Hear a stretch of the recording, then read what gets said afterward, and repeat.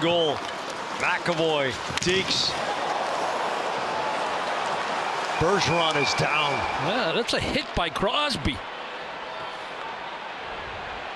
Dustin stuck, runs across the ice.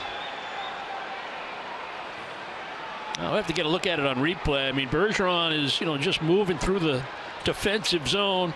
Maybe I'll get open for a pass. If it doesn't come my way, I'm going to join the rush. And Crosby's in coverage, and he makes contact with him. No, skate under the skate there.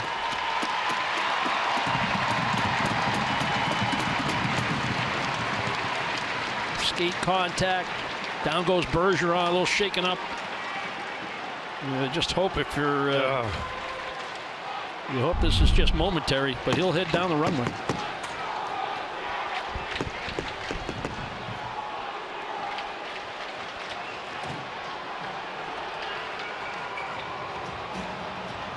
Eleven sixteen to go in the game. The Bruins captain